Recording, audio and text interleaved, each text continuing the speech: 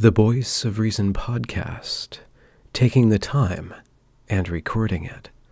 Hello, this is Benjamin Boyce, and welcome to another episode of the Voice of Reason podcast. Today's guest, alike the last guest, actually the same person in the last episode, is Philip Tanzer or Logan McCree. And in this episode, we speak about sexuality, masculinity, men's rights, and his journey from, I guess, from through homosexuality into a different relationship with his sexuality. Um, seems kind of heterosexual at this point, or homosexual or bisexual. I don't know if the categories of that even make sense at this point for somebody like him, but we do get into this and tie his sexuality and masculinity, or he does. He explains how his sexuality and masculinity is tied to his spiritual development or his process of becoming a fuller, richer, more wise, and self reflective human being. This is a really deep conversation, and I would like to put it out there that there are some parts that aren't exactly explicit, but it is rather adult material. So, that all being said, here is Logan McCree. How did you get, end up getting into men's rights activism? What prompted you to do that? So, three three quick steps. Uh, by the way, are you recording this? Um, of course I am.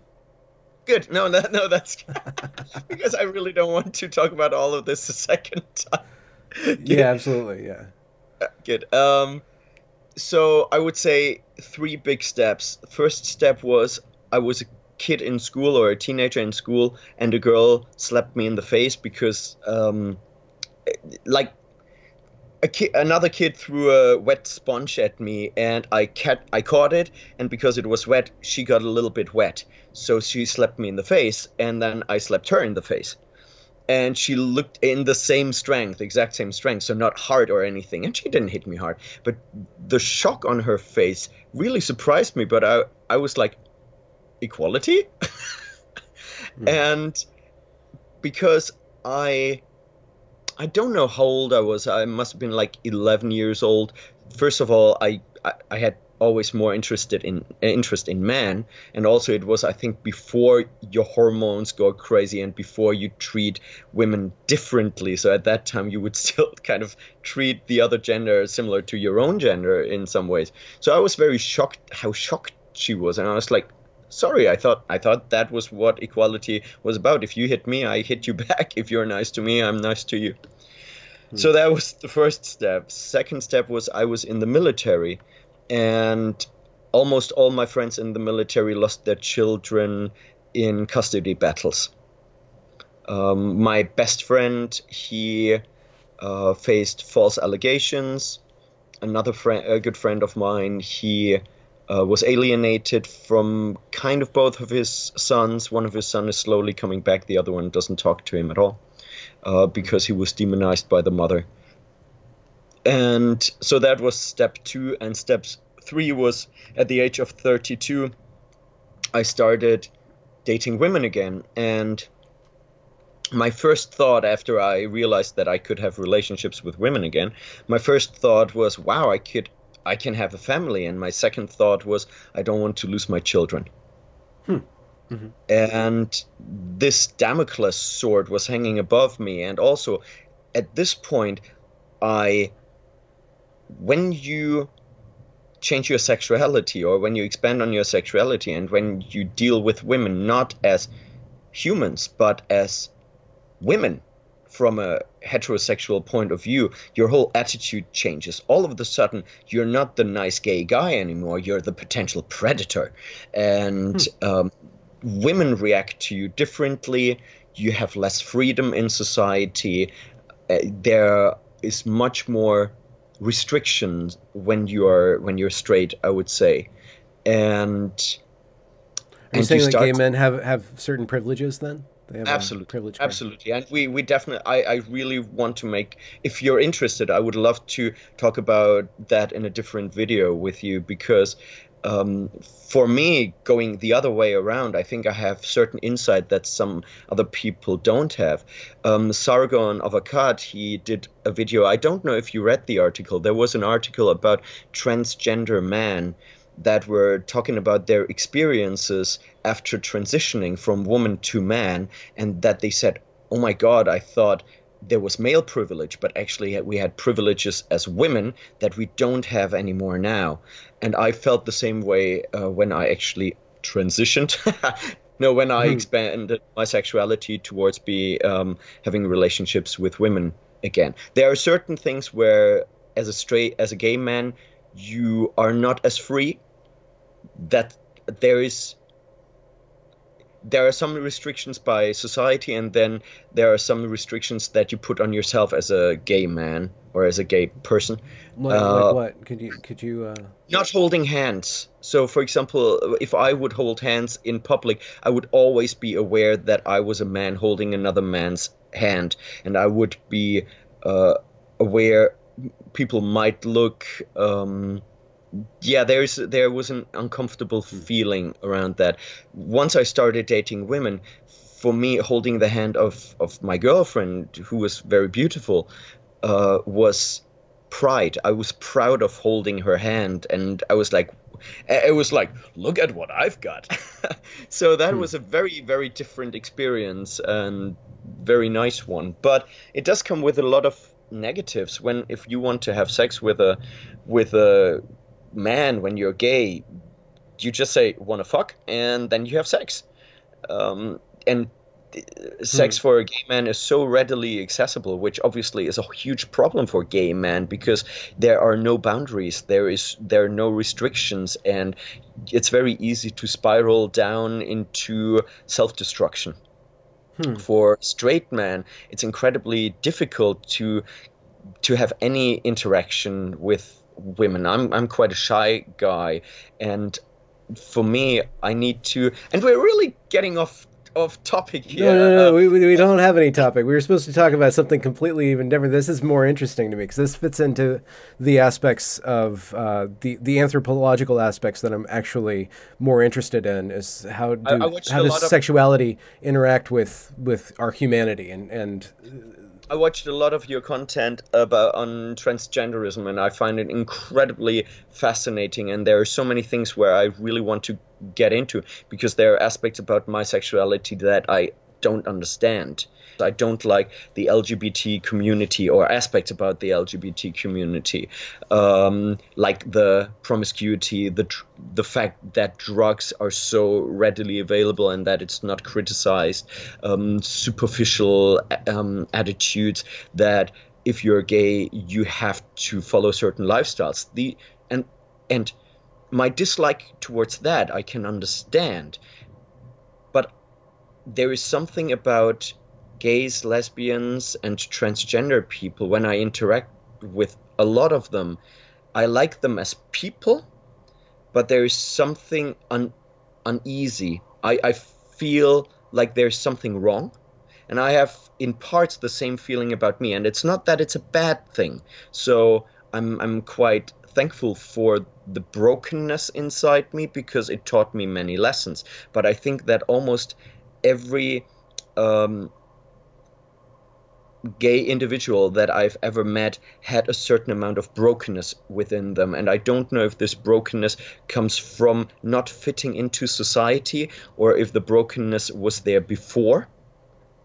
And if the brokenness is actually why they um, express their sexuality gay or, or do, do you know what I'm talking about? It's it's mm. very difficult. It's very difficult because it's a it's much more a spiritual feeling that I have. Um, and like you walk into a room and there is a person and you have this first impression of the person and the first impression can be positive or it can be negative or you're like oh that's a person i want to hang out with and with a lot of um, gay people i have this there is something that i can't put my finger on that most of them have in common it makes them different. It and this difference. And you see that in you, or you, have seen that in yourself? Yeah, of course. Uh, yeah, I definitely see that in me as well. Um, which which can also be a gift because you see things in a different way.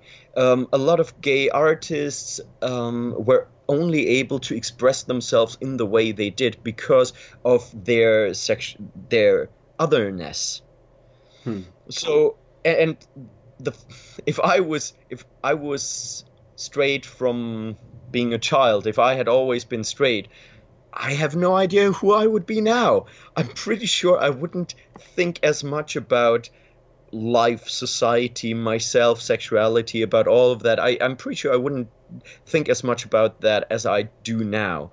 Um, masculinity doesn't come as natural to me as to some other people i think. I i have to work for it. Do you know the writer jack donovan? Uh, no, I don't. so jack donovan is um, a writer. He wrote um, the best book ever written about masculinity it's called the way of man um, before he wrote that he wrote another book called androphilia and it's about men that love man and he doesn't like the term gay, so he loves man as well. I don't know where he is now on his journey. I think he has a little bit a similar journey uh, that I'm on, uh, but he's not vocal about it. He's not because he doesn't want. He wrote this book, and I. Put, I'm not sure. I, I'm not sure if he's happy that he ever released this book. I'm very happy that he released the book because it does take because very, blowback. You think he? yeah, well, the thing is, he is he is an icon in the manosphere and in the very very masculine manosphere. He's a he's a really tough guy, and most guys in the military, I would say a lot of guys in the military, have read his books, and the fact that he loves or loved man is what most people use to attack him. So as soon as somebody wants to destroy his masculine self, they poke at that. And Hmm. because as a gay man, it's you you constantly have to ask yourself, who am I as a gay man? What what am I? There are no there are no normal role models. There are very very few masculine gay men. Okay. And when you when you switched from uh, or expanded from homosexuality to, to heterosexuality, how did your your relationship with with your love of man change or alter? So I I was always interested in men. So as far as I can remember, I I I, needed male energy around me, and it had to be masculine energy. And I think it has to do, and I think that's the case in a lot of gay men. Um, a lack of masculine presence in in form of the father. I grew up with my father, but my father wasn't very present, and we weren't very close. And my father is more a soft guy, and I was always looking for um, tough guys that I could look up to. So I, but I'm not saying, obviously, I'm not saying that the lack of masculinity in childhood made me gay, but it definitely influenced my my sexuality because I was always looking for a very manly man, and I don't know to what extent I was looking for the man that I wanted to be, Mhm. or or a comrade or a father figure. It's it it's I was definitely looking for a father figure, but at one point this and sexuality starts to blend into each other and it's very difficult to separate where you wanted a father figure and where it turned into daddy issues. Hmm. Um, and but even when I was a teenager, I I called myself asexual with a tendency towards men. Because I didn't really want to have sex with men, but I knew that I was drawn to men, and mm. people started to say, "Oh, so you're gay," and I'm like, "No, I." I'm asexual with a tendency towards men. Oh, so you're gay? And I'm like, no, not really. And they're like, oh, you have to be proud to be gay. Come out. Uh, and I felt very pushed by society to identify as gay. And it wasn't the gay community that did that. It was overall community because, Yeah. um, and that was 25 years ago. But it was so gay positive. It wasn't gay neutral. It wasn't well. It doesn't matter. It was like, oh, it's great. and you sh- you should do that. Nobody said, well, if you like man, that's fine, but maybe one day you're gonna like a woman, and that's also fine. Mm-hmm. That it seemed like that wasn't an option back then. I think that has changed a little bit. I'm not a huge fan of this whole movement with gender fluidity and fluid sexuality, but I do think that nowadays it's easier for somebody to make experiences with men and with women and decide later on what you want to be. I think the rigid uh, boxes of gay and straight are a bit softer. I, I think that's a good thing. Mm-hmm. Um, yeah, it's interesting. The the uh, the movement to towards gay acceptance needed to create a gay category, which then has all this other baggage that you're not necessarily signing up for, like your your sexuality then becomes like this component of a whole uh, personal construct that you're supposed to create. And then when we go into more refinement with uh, gender fluidity or uh, fluid sexuality, um, that that that can release those bonds. But there's a uh, a threat that that becomes another rigid box in and of itself. Like this is like my sexuality is such a huge component of my personality. I have to put it in my bio. It has to be right up front. Um, that's how I market myself to the world. But the thing is, obviously, by having this strong gay box um, that was created or that was there, mm, you obviously also other yourself yourself these are the straight mm. people, we are the gay people, which makes it much harder for the other side to hate you. If you don't other yourself as much, if you say, look, man, I'm the same as you, I just make slightly different decisions and I don't know where the journey is going. I was in the military for three years and nobody had a problem with me being, being gay because I didn't make a big deal around it.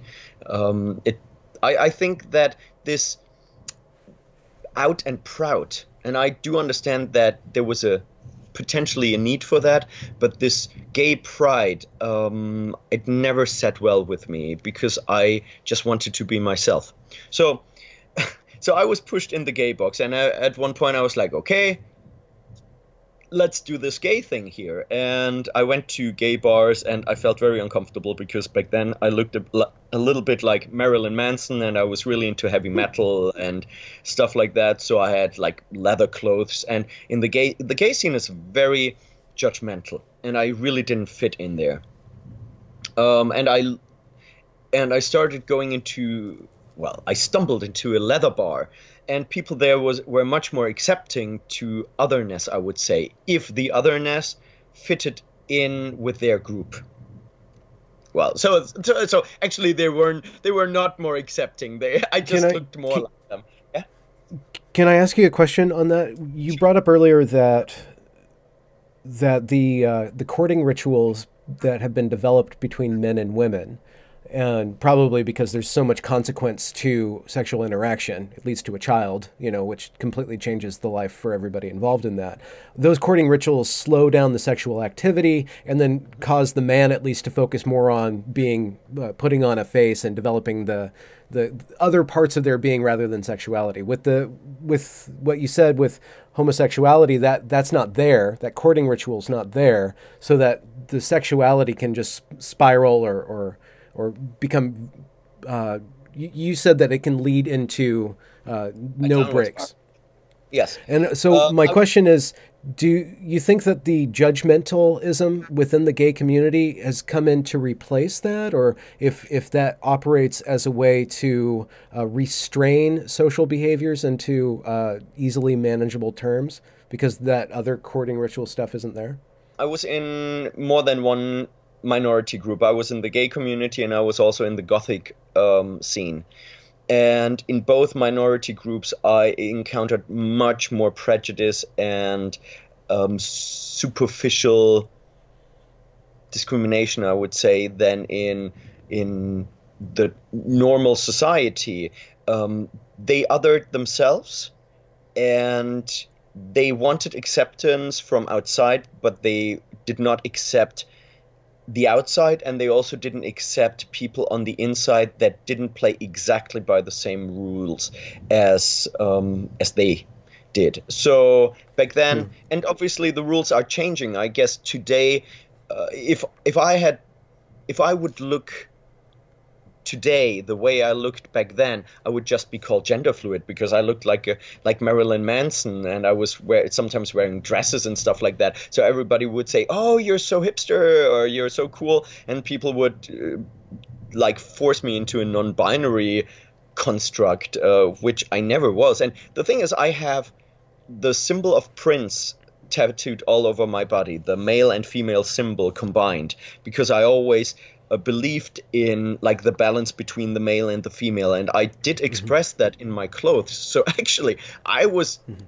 non-binary or I was gender fluid long before it was hip but for me it wasn't a political thing it was much more a spiritual search yeah. and yeah. yeah and I think that that has always been part of society and there have always been people playing with with gender norms but it was it was a spiritual thing or it was a, a philosophical question not a political question and yeah. they're yeah.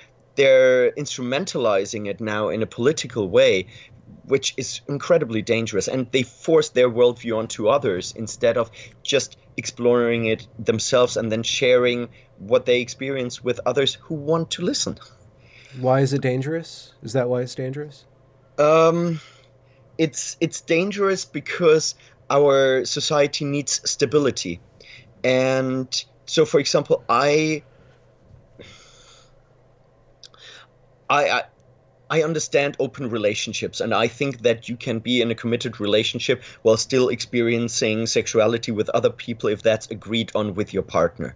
Uh, I think that can work, but I would never promote that in public or to people, especially straight people that are in a committed relationship, because society needs structures. We need boundaries. We need people need to discover things themselves in their own time uh, with their own rules if we completely destabilize everything and that's what our obviously at the moment we don't have any values in our society and the deconstruction of values might work for incredibly evolved people, very, very intelligent people that dive into this deconstruction to find the value of rules and, and structure.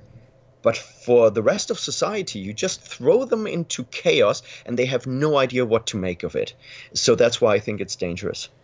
Do you think that, that the, um, the push for uh, LGBTQ rights has kind of morphed or, or, been hijacked? Like the, the push for rights has been hijacked by this uh, destabilizing force? Um, and is there a difference between pushing for rights for these individuals or pushing for acceptance and um, and, and still stay uh, uh, accepting that heteronormativity or the gender binary is actually more fundamental and, and I think rule, I think. I think so. What happened was that um, in the fight for equality for gays, lesbians, and so on, we forced society to accept everything what we do and to incorporate our rules, the gay rules, so to speak, into their perception of, of society instead of saying, um, sure, we can respect you if you play by our rules, which means if um, if you have sex on a public in a public place um, or on a gay pride, if you if you are on one of the um, how do you call these trolleys? The floats, yeah, yeah. If if you're on one of these floats at a gay pride and you have sex with another person, sorry, but I I, I can't respect you for that. I will call you out for your bullshit. Um, but instead, so that open flaunting of, uh, I guess, kink. Once once it went from Pride being a celebration of the Stonewall riots into this parade of perversions, um, where you have. It's always been about perversions. It has always been about perversions. The gay lifestyle, and I'm, I can't talk about lesbians, but it's very different. Like gay lesbian lifestyle and gay lifestyle has pretty much nothing in common. But the gay lifestyle has always been about promiscuity, and it's almost impossible to take that out because there are no female sexuality gatekeepers. So we are always more likely to engage in sexuality a lot. In Arabic countries, you think that there is less homosexuality in Arabic countries, but they all fuck with each other. Um, you just don't talk about it. And it's actually much more frequent than in the West because even straight guys, because they don't have access to women, they will just have sex with other men. Um, hmm. So men, men are very sexual, and if you, if you let them be sexual, and if there are no restrictions, they will be sexual. So and there will always be more promiscuity in the gay community. You can't stop that. But what you can do is you can give them positive role models and you can say, look, protect yourself. Um, don't let it become an addiction. Just because okay. you can doesn't mean you have to and you should. But all these things are completely absent in the gay community. There are no warnings. Like there used to be warnings with protection, but they are completely gone. Now nobody uses condoms anymore. So, do you think that there's a? Uh, I wonder if because the gay lifestyle, at least in the West, had you had to deviate, uh, and and because uh, for some reason that that deviancy is built into the gay lifestyle, that that deviancy always, whenever there's any sort of rule, even if it's a guardrail, that guardrail has to be put out because deviancy is inherent in that in that culture itself and yes. and the, and the yeah. conditions that, that form that culture. That that's exactly it. I mean, as a as a gay person, you're per definition a pervert, so to speak, and it's kind mm. of like, well, I'm already out of the norms, so fuck all the norms in some ways. And I have noticed that quite a lot of gay men now uh, become more and more heteronormative, uh, getting married, uh, stop screwing around, taking less drugs. There is a clear movement away from the gay community, I would say, um, where, and and I would say that more gay people start to become conservative uh, or or libertarians uh, and step away yeah. from the insanity of. I mean, when you look at people like Dave Rubin, for example, uh, mm. who stepped away and uh, and he he's a good example for a very heteronormative lifestyle, I would say. Do you think that that seems to be um, part of society's greater acceptance of gay people as just gay and, and not needing to have them labeled as perverts. So that allows the gay people to not have to to have more room to just be stabilized. But the weird thing or the interesting thing that i see in the rhetoric uh, around radical trans rights activism is that or queer activism is that they they vilify or they hate homosexuals who are acting heteronormative more than they even hate heteronormative people yeah, but that is um, that it's a power game. So where hmm. I, am a person, I don't want privileges. I joined the fire brigade here in Scotland, for example, and when I joined the fire brigade, I had to fill out a piece of paper asking me if I was white, brown, um, black, whatever, if I was straight, bisexual, gay, and so on. And so I ticked bisexual because that describes closest what I am, even though I don't like boxes. And you are being treated better because you're not straight. So it's like, oh, we have a we have a non-straight person. That's amazing. We're so happy to have you. Where I'm like, so I put my penis into another guy's anus every once in a while. Why does that make me better? Why am I more qualified as a firefighter because of that? What's great about that? I just want mm-hmm. to be treated exactly equal. Not I don't want to be discriminated against, but I want to be tre- be treated equal. And I think a lot of gay men they are now at a point where they're like, yeah, just let me get on with, my life. I don't want a big fuss. I, I want to be normal. lesbians have always been more political than gays. Gays were always about fun. Lesbians were about political activism. Uh, and I think the fun times are a little bit over for gay people. There are no more gay bars or very few gay bars, and and the the gay culture crumbled and fell apart with social media and with dating apps uh, because you didn't have to go to gay bars anymore. You would just hook up with people online. So all the gay discos gay bars they disappeared. And then gay people just started to go to regular bars um, and hang out there which obviously made them more heteronormative in some ways. Uh, mm. so uh, so in some ways they they just it just happened that they integrated themselves a bit more uh, and what happens to all the activists activism that was attached? Oh, I'm sorry. Go on. The lesbians. Yeah, I, I would say that the lesbians they uh, are still very active in feminism, and now obviously they have a new battleground, which is transgenderism, because they have to like define themselves against transgenderism. The gens- transgenderism has been co-opted by the extreme lefties. mm-hmm. uh, so at, at, the moment, it's it's really not about inclusion or anything. Because if you really want inclusion, then you highlight the humanity of people, and you highlight that people are just the same as you, and that they all just want to be happy, and you don't force political. Um, bogus co- political things like oh i need i need my own toilet Mm-hmm. Of, yes, I, I, to be honest, I see all these problems. Yeah, you there is an issue. Which toilet do you go to? But most public places have a toilet for um, disabled people, for example, and there is absolutely nothing that keeps you from using that toilet. I think, and obviously, when you say, "But I'm not disabled," yeah, you're not disabled. But why do you make it more difficult for people to understand you and to say, "Well, they have a right"? To their dignity, so to speak. Uh, let's mm. let's let's try our best to, to to give it to them. And if that was the attitude, um, if that was the modal uh, uh, behavior of the activism, then uh, it would it would be in line with.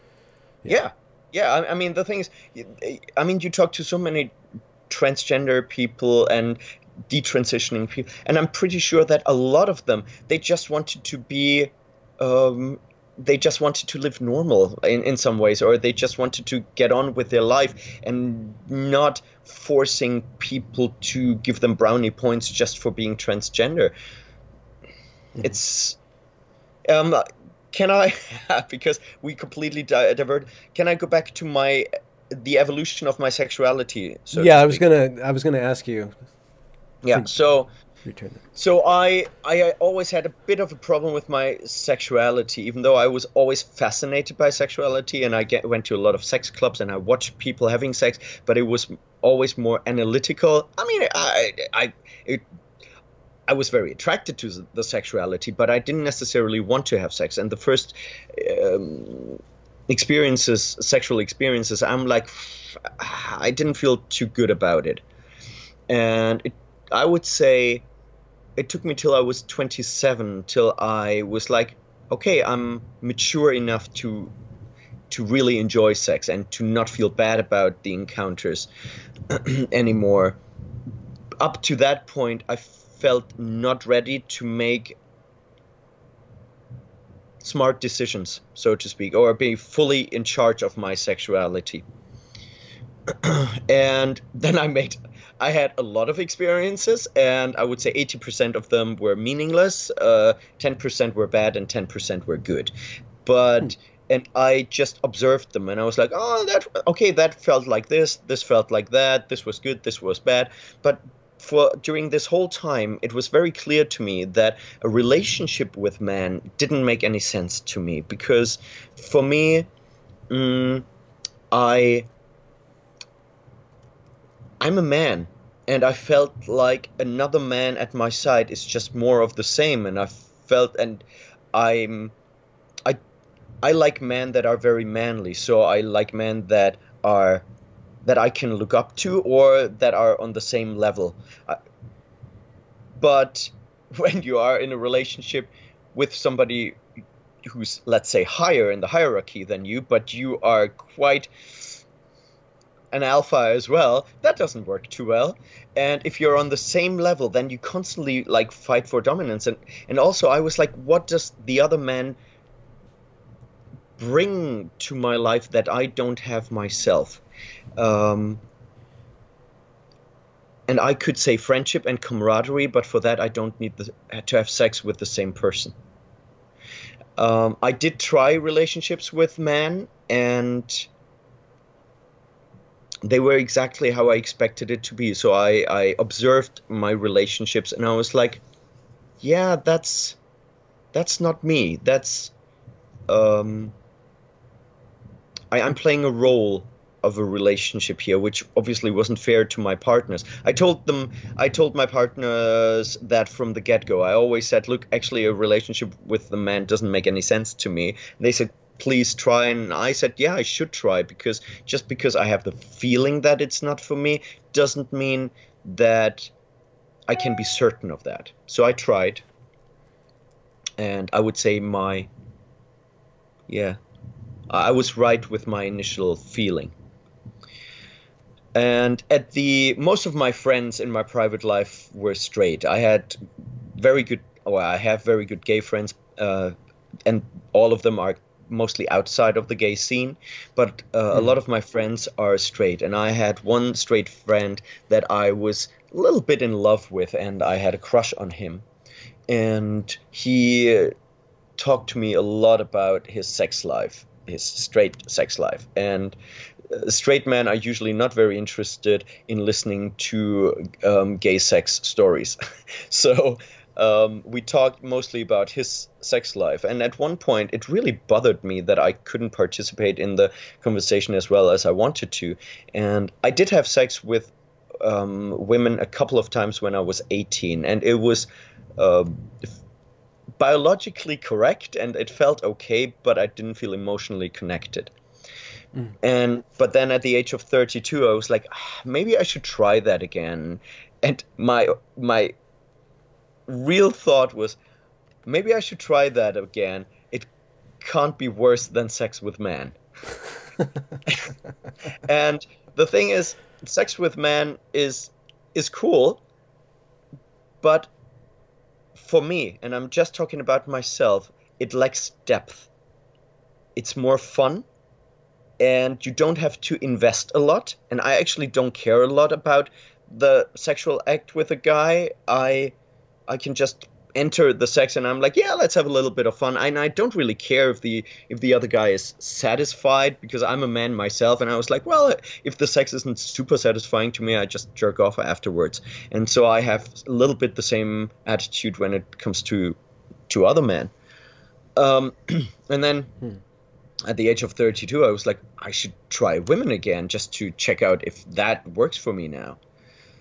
And I found it incredibly difficult to engage with a woman for the first time again because how do you do that? Do you go to a bar and say, Hi, my name is Phil, I'm gay, but I would really like to try a vagina again? Um, so you're hmm. practically an experiment.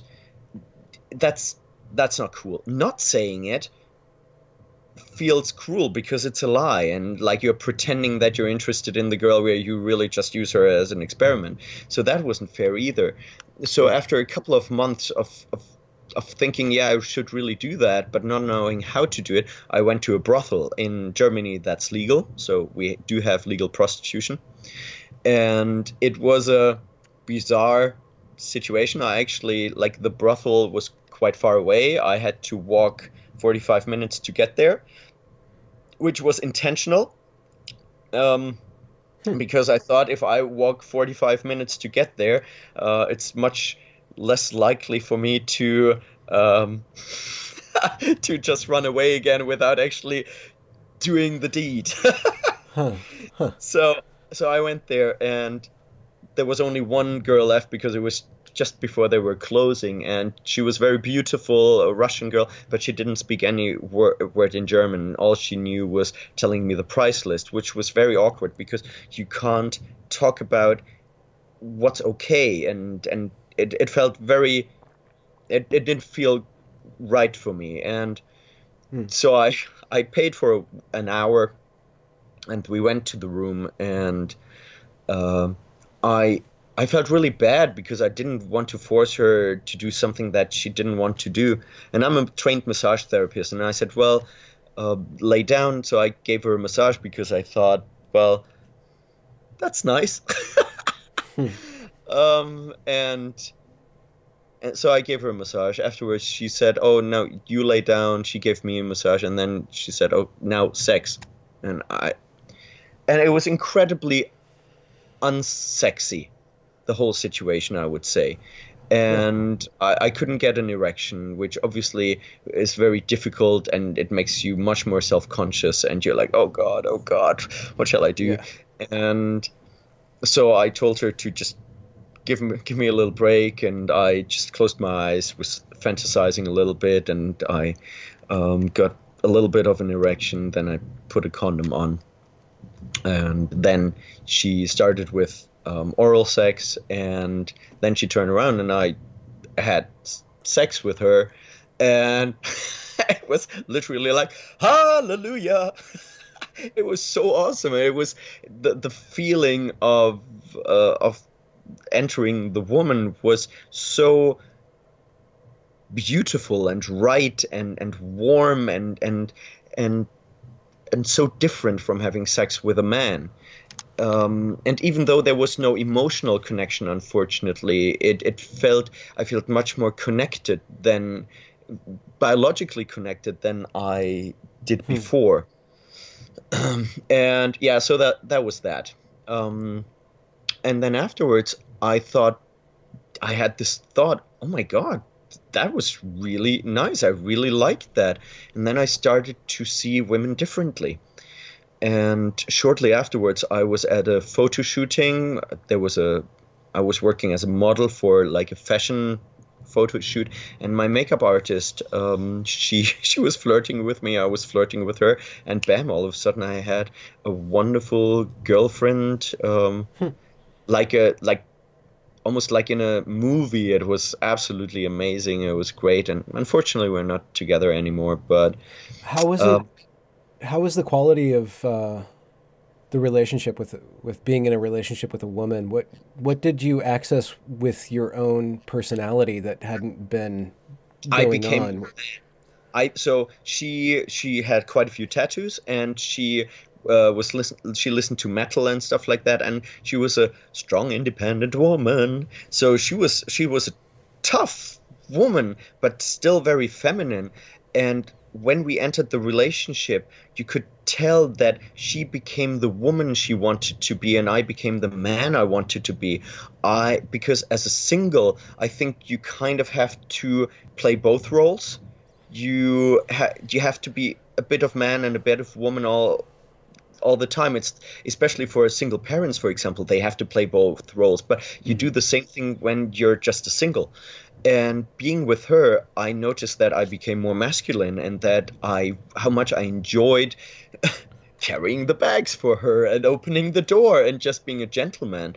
While and she didn't expect any of that. And she wasn't weak because of that. It just um, it felt incredibly natural. And the and we were 100% equals. It, it, it was amazing. It was absolutely beautiful Kind of a yin Uh, yang situation then. Yes, hundred percent, hundred percent, and and that's when I experienced that. I was like, oh, that's why a relationship with a man didn't work for me because it was the same. There was too much sameness, and I need the otherness of the woman to actually, mm, so that the rela- relationship creates something unique, something that hasn't been there before. And to me, I, I would I would love to have children, uh, and to me, having children is the only real wonder in the world that we can be part of. The fact that you and somebody else create something together that is a mix between you and the other person. Um, I think it's just absolutely beautiful. I'm not. I'm. I don't know if it will happen in my life. I will not have children if I don't find the wife that I can really love and and that I want to have children with. Um, I, I, hope it happens. Um, I would be very grateful for that. And earlier you said that there was a component of your homosexuality that was in seeking a father or, or trying to find a, a father outside of you. Um, when you, I don't, I don't know, it didn't seem like he converted to heterosexuality, but but still, I still transitioned. love I, I still love men. So I would say like it's it's life is a journey and i think sexuality is a journey even for straight people uh, or people that stay in their box so to speak. Sexuality is a journey. We change over time and we um, we create little fetishes and certain things work better for us and we're like oh i I wasn't that much into cuddling when I was younger, but now I really appreciate it. I mean, this is a change in sexuality. Uh, people, it's not a very obvious change, but it still is a change. And I would say that, okay, uh, are you a spiritual person? Yeah. Okay, so I, am I have I need to go into a little bit of spirituality, and I'm well aware that a lot of what I'm talking about might just be delusions and stuff like that. Um, but if they are delusions, they are delusions that served me very, very well through my life.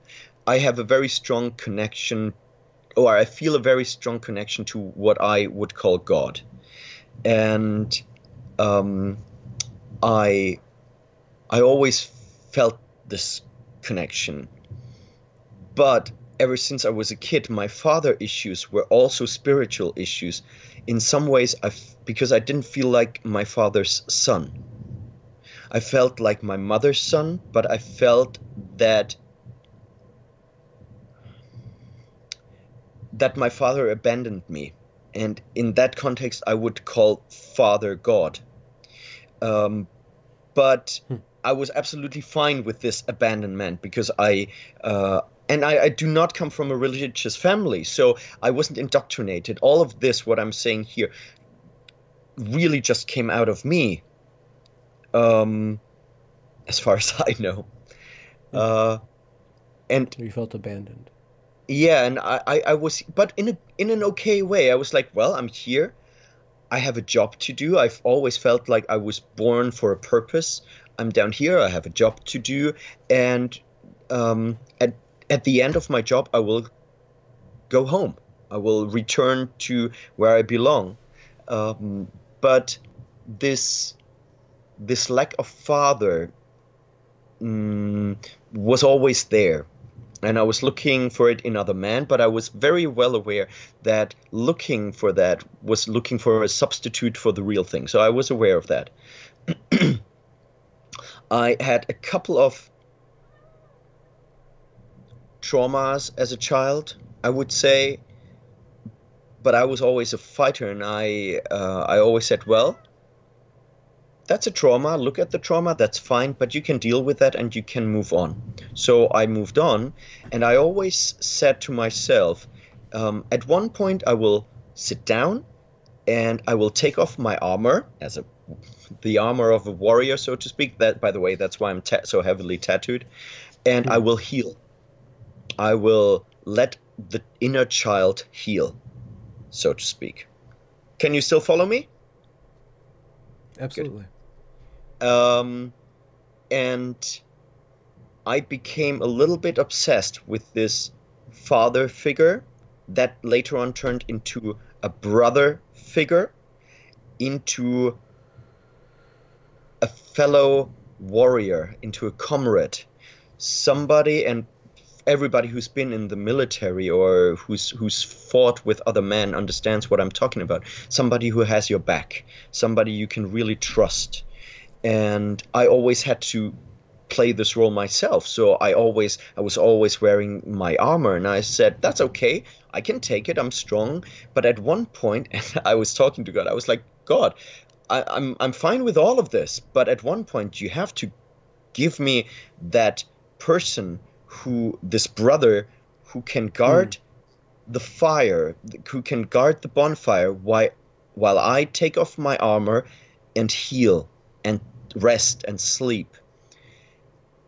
And I tried and I and I, I was looking for this person and while looking for this person I made I would say I made not bad choices, but I projected this need onto certain men that I thought could play this role, but it was projection. Um, I was talking yeah. about this man earlier on that I was in love with, um, the guy that he was the reason why I started having sex with women again. He was one of them, and um, he is a little bit of a narcissistic personality. So he was a very good. He was a very good canvas to see everything in him that I needed to see, and yeah and he broke my heart as a friend. And uh, at the same time, I moved away from Germany to Scotland and I built my own house, which is a relatively big house. And I built it all by myself from scratch.